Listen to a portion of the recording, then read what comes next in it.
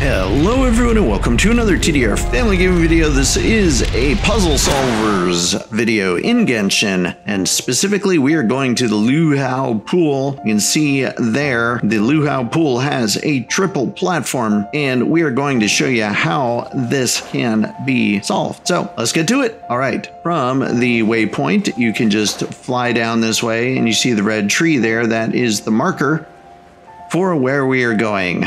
And once we arrive there, you'll see there's three platforms surrounding the tree, and each one has to be activated.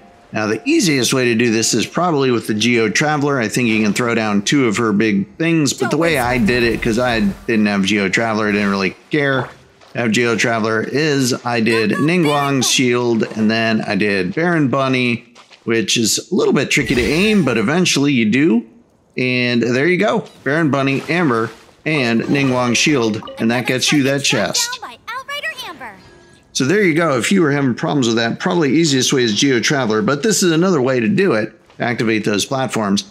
Hope you enjoyed it. If you like these puzzle solver episodes, please let us know in the comments below, and we will see you in the next one. Bye-bye.